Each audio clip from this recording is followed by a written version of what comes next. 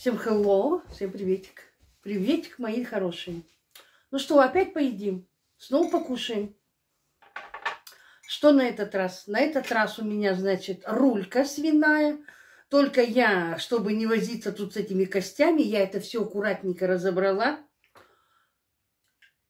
Вот так красиво себе приготовила. Тарелочка лопата, рулька с картошечкой, картошечка в сыре. Ну и естественно, естественно, мои огурчики. Вот эти вот. Чутка салатика, помидорчик и красный перчик болгарский, морковочка. Как думаете, чем шлифанем? У нас снова торт. У нас снова тортик. Решили каждый день тортики покупать. Ну, понятное дело, чай с лимоном, как я люблю говорить, без воды ни туды, ни сюды. Пью только через трубочку. Знаете почему, девочки? Чтобы работали вот эти мышцы. Это я у одного косметолога подглядела. Ну, потому что всякие упражнения для вот этих жевательных мышц там делать лень, а когда пьешь всю жидкость через трубочку, у тебя работают все вот эти жевательные мышцы. И должны подтягиваться. Должны, но не обязаны. Так, ну все. Мне приятного аппетита. Кто со мной, тоже приятного аппетита. Рулечка одна нам было мало, поэтому я сварила ее с большим куском свининки. Все это я достала из бульончика, так сказать. Там не бульончик, там прям холодец. Кину, разобрала от косточек, кинула на сковородочку. Подрумянила. Лук не добавляла, потому что Костян не любит. Добавила только томат, там, ну, всякие специи. М-м-м. Просто вкуснятину. Так что ужин. Ужин, как у культурной женщины. 18.00. Хлебушек. Костян сбегал, мне купил мой любимый батон с изюмом. Естественно, через тостер. Тоже где-то я выглядела, что если хлеб кушать, жарить его предварительно в тостере, то с него уже то, с него толстеть не будешь. Это все надежда. Я уже много ем, ой, много ем, говорю, много лет ем батон, хлеб, вообще любой, через тостер, но что-то не помогает. Ни хрена не помогает, девочка. Ну, правильно, жирная рулька, майонез, тут майонез, торт, тут майонез. Хочу такая умная, да, пожрать и похудеть. Это только надо завести глистов, наверное. Завести, прости господи, глистов, чтобы они весь твой обед съедали. Но я не хочу, я боюсь глистов.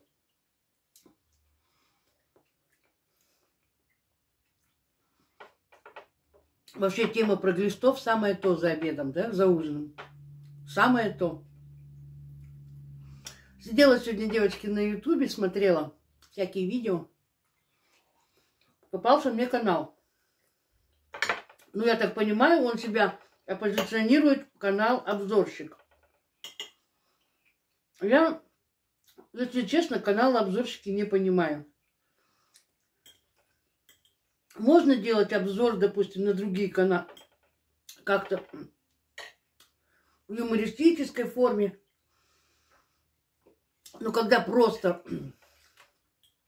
так сказать, владельцу канала не нравится какой-то другой, и он его просто обсирает, я считаю, что это не обзор. Этот канал все время проходится по пиратам и по Судаковой. Ну, по самым безобидным таким, знаете, не сильно крупным и безобидным каналам, которые особо ничего против не скажут. Хотя про Судакову я бы не сказала, что она безобидная.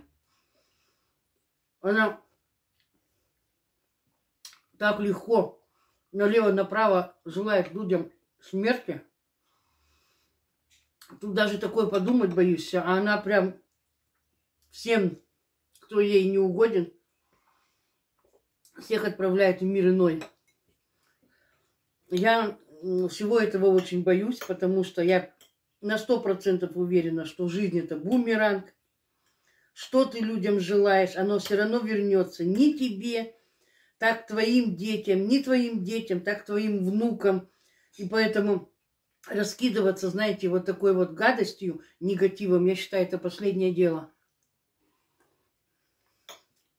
А вообще, Инка очень интересный персонаж Судакова.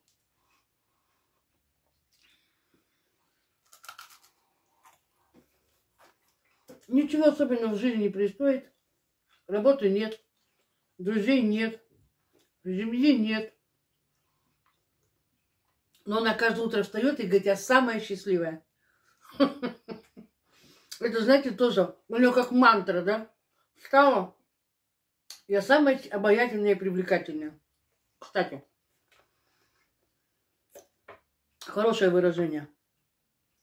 Я свой канал так и переименую, переименую. Потому что все равно у меня Константин со мной не снимается. Ему некогда. Так что поменяю-ка, девочки, название своего канала. Ммм, бляха-муха. Как вкусно. Я вообще рульку люблю. Только там это кость, ну и черт с ней. Кость я никогда не выбрасываю. Я ее убираю в морозильник. А потом, когда мусор не что относить, я отдаю на улице собакам. Они что жрать хотят, уличные собаки. Поэтому и собачка погрызет, и я наемся. Так, ну что, по Судаковой прошлись? самая счастливая. Может быть, она в этом плане молодец, что она себе это внушает. Может быть, она в этом и счастлива. Мы же не знаем, не все же хотят иметь семью, не все хотят иметь детей. Потому что это же все равно очень большая ответственность. А так, она проснулась, ей не надо переживать ни за кого, ни за собаку, которую надо на улицу вывести. Ни за ребенка, который, например, там в школу убежал. У нее ни за что не болит голова. Видите? И в своем роде она в этом счастлива. Что она ни за что не переживает.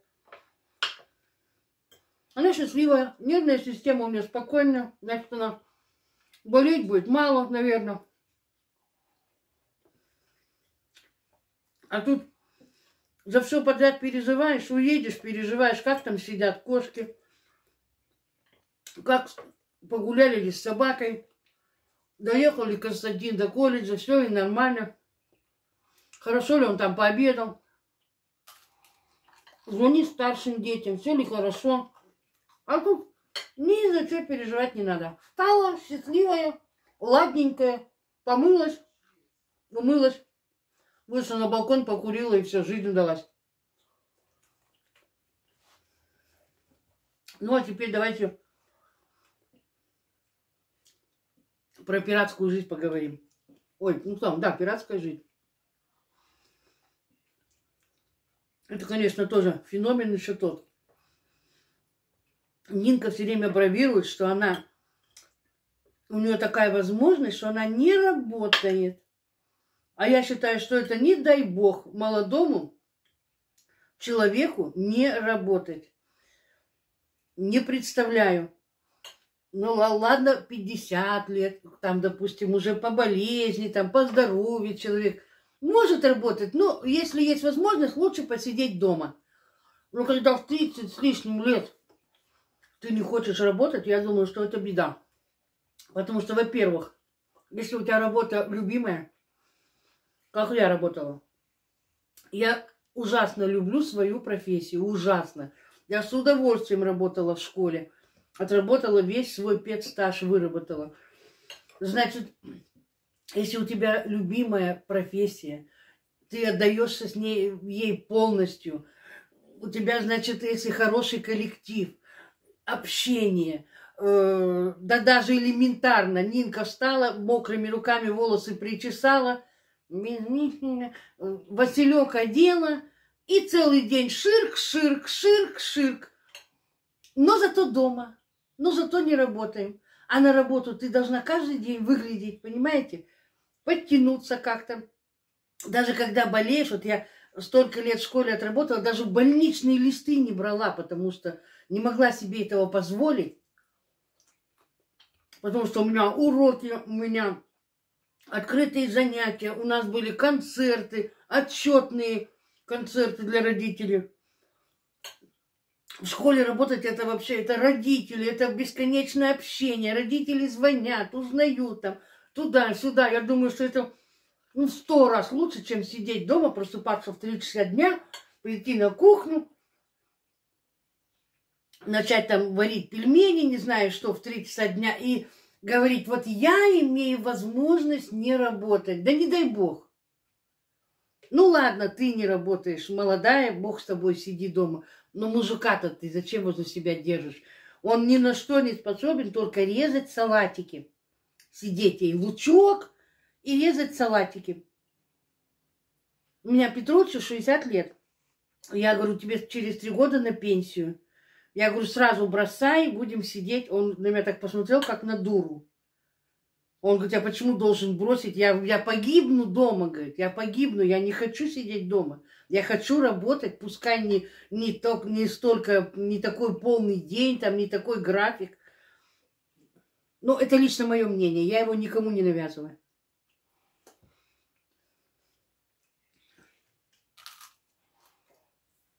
О, шедевральная картошечка, шедевральное мясо. Короче, зачем мы говорим про левых людей? Будем говорить про себя. Я тоже хочу работать. Очень. В школу я уже не пойду работать, потому что уже молодежь наступает на пятки. Зачем я там нужна пенсионерка в школе? каких-то вот, э, допустим, кружков, там, что-то такого плана у нас нет в городе. Я бы с удовольствием пошла работать в торговый центр. Вот с удовольствием. Какой-нибудь хорошенький магазинчик с хорошей одеждой, где ты должна каждый день сама эстетично выглядеть. Значит, ты будешь все время подтянутая, значит, ты будешь все время нарядная, общение – я могу поделиться опытом, допустим, все равно каким-то жизненным, даже в том же прикиде, так сказать. Вот я очень хочу пойти на такую работу. Но, пардоньтесь, нет вакансий нигде.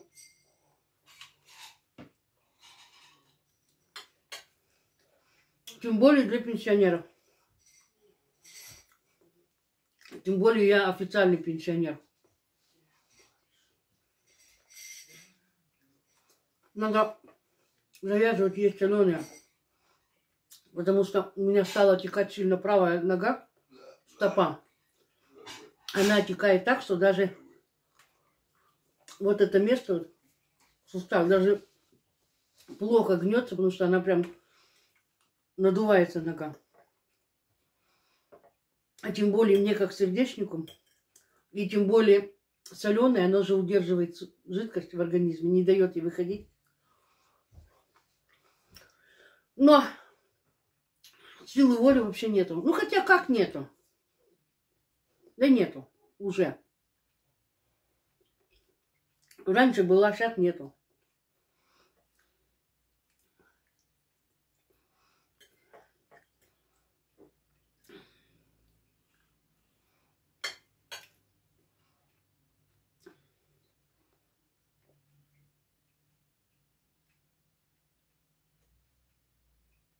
Ой, очень я люблю хороший чай. Но хороший чай прям вот, когда бываем где-нибудь, я покупаю себе рассыпной чай на развес листовой. Ну, сейчас уже ни хера нету. Одно время я выписывала с Валборис, но он тоже стал приходить все хуже, хуже. Знаете, такое впечатление, что такой элитный чай фасовали, то, что попадало, все замели и в пакетики и продают. Вот только одна Надежда Петрович, когда что-нибудь привозит с Владивостока. Ну, рядом же все это там. Китай. Если оттуда что-нибудь привозит. Сегодня разговаривали по телефону, он купил доширак. Купил доширак китайский, натуральный. 530 рублей стоит одна пачка.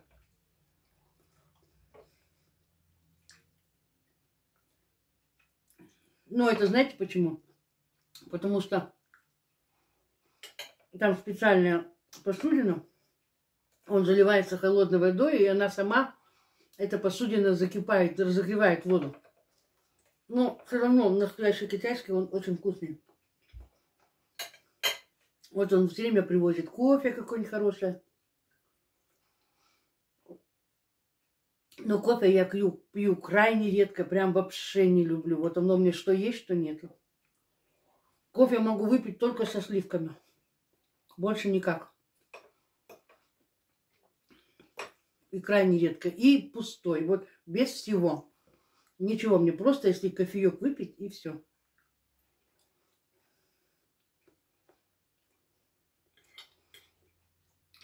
Что я, девочки, мальчики, подсела на ютубе на Самвела. Ну, наверное, все его смотрят. Там на всю эту банду Самвел, Коля, Колины э, родители, Самвела мать, на всю семейку. Вот еще их смотрю. Ну, как смотрю, когда время есть. Когда, например, салат режу, то включу, смотрю кого-нибудь. А так, чтобы сесть специально и смотреть, у меня тоже времени нет. Мне его катастрофически жалко.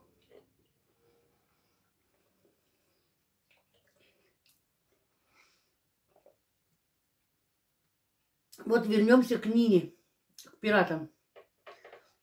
Я не знаю, где у нее раньше работал муж, но где-то работал. Зачем она его забрала с работы? Зачем он рядом с ней сидит? Молодой человек в 40 лет. Он еще лет пять посидит, он уже потом никогда в жизни не выйдет на работу, не захочет. Я считаю, что это ну, лодырь. Лодырь молодому человеку. Тем более у них, как они любят говорить, уже неделю идет ремонт. Ну там, да, на самом деле, там, да в любую квартиру, в любое помещение, сколько ни вкладывай, все что-то надо, надо, надо.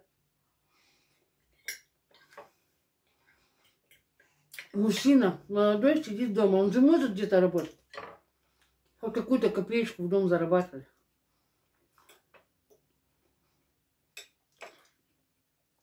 Не знаю. Но это мое мнение, я никому не навязываю. Никому. В мое детство, в мое детство, у меня у бабушки была подруга. Я не знаю, по какой причине она не работала ни одного дня. Так у нее была какая-то статья за тунеядство. Представляете? А сейчас всем похеру. Хочешь работай, хочешь не работай.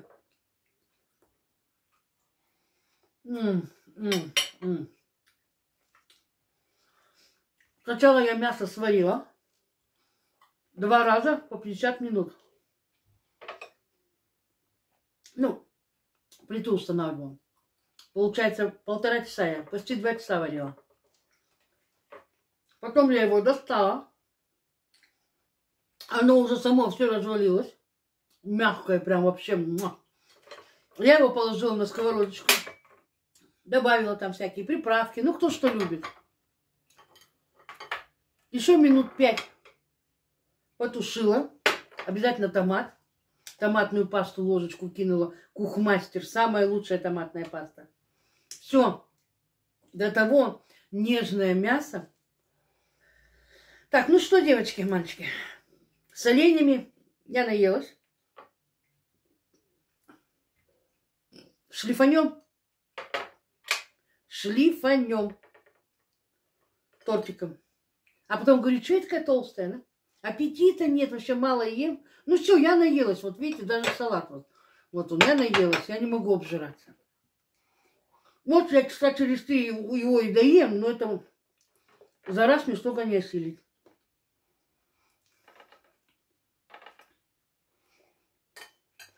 Сегодня у меня снова прическа.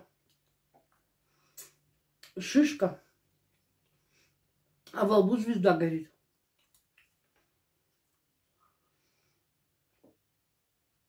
Очень я давно, уже, наверное, год хочу подстричься. Очень коротко. Потому что у меня ужасно бывает болит голова от волос.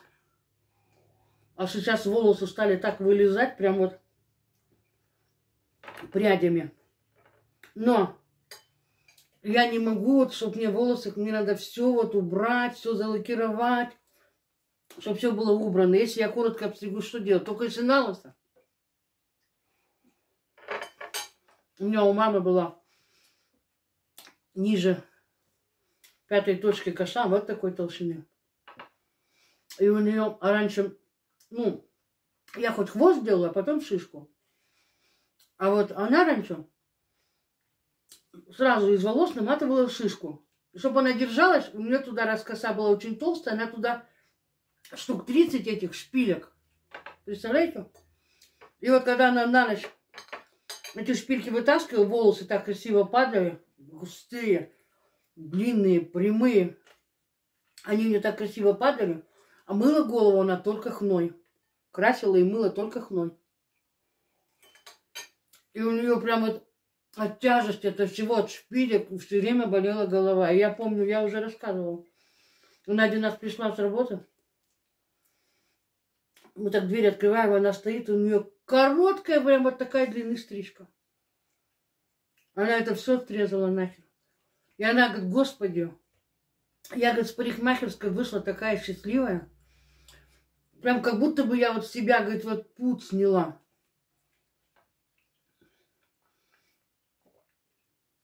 И все, и потом она уже все, все время ходила только с такой короткой стрижкой. Ну, уже к ней привыкла все. А я вот только заодно переживаю, что мне надо все время убирать волосы. Я уже не представляю, там челка на лицо упадет или вот здесь вот. Я даже сплю, туго делаю себе или шишку, или что-то, вот убираю волосы. С убранными волосами. Ой. И тортиком я уже объелась. Ну, вот, вот эту розочку сейчас доем. Уж очень она вкусная.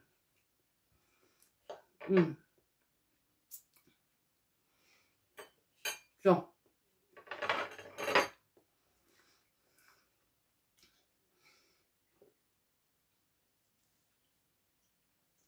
Заставляем мышцы работать, чтобы подтягивались щеки. И я уже, девочки, уже на протяжении, наверное, дня три-четыре ношу вот этот бандаж с лифтинг эффект, эффектом. Тяжело. Первый раз я походила в нем, ну, может быть, около часа. Тяжело, все жарко, все тянет. Единственное, что плохо, вот здесь вот фиксация, и вот эти вот колючки цепляют волосы. И я снимала прямо, знаете, я выдрала пол башки себе волос. Надо как-то навостриться, подкладывать, наверное, платочек сюда, а потом только волосы. Но если что-то лишнее подкладывать, это будет еще жарче. Ну, в общем, наверное, настроюсь. Вот хочу попробовать походить. Будет толк, не будет.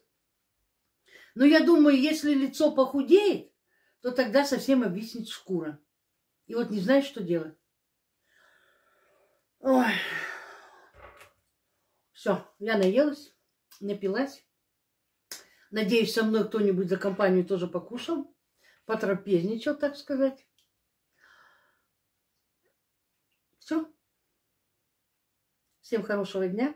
Завтра, сегодня хорошего вечера, чудесной ночи и всего самого наилучшего.